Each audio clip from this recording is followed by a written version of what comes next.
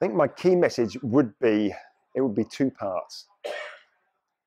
First, that we have to be more honest about the scale of the challenge that we actually face, and that we cannot just use sort of at the moment mythical technologies to solve the problem.